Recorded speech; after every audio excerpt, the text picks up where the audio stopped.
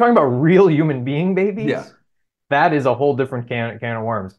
said that until I had a child, but Yes, yes. We are um, both on the verge of having yet another child, yeah, and a lot of uh, the fun in our house has been talking about honestly how like lax we feel about yet another one coming Mhm. because it's just going to be like get in line and go with the flow. Like they're just going to have Yeah. to have roll with it because we already have gone through it all. Like I have a Right. sick child upstairs right now. yeah, And during our firstborn, if they had sniffles or whatever else, you're so amped Yeah. up and worried. And what do I do? Do I stay home? Do I go to Yeah. work? Do I drop them off? This one is just like, just lay down. You'll be fine in a couple hours. I can't imagine what the next one will be.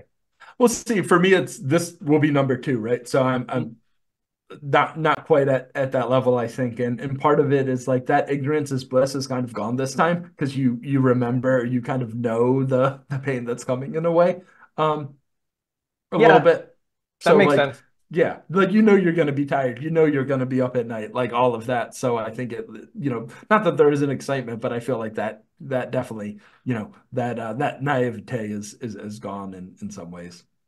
And but the other piece of that puzzle though is you have gone through the entire arc of whatever event it is. So what I mean is you've been Yeah. through like a child getting sick. The Right. kid You know what to do. looked yeah. a little bit sick, then was clearly sick. You had to administer medicine in any Yeah. number of holes in their body. Yeah. Yeah. Then you had to watch them get better, and then they were better, and you returned to your routine. So you did the whole arc of it.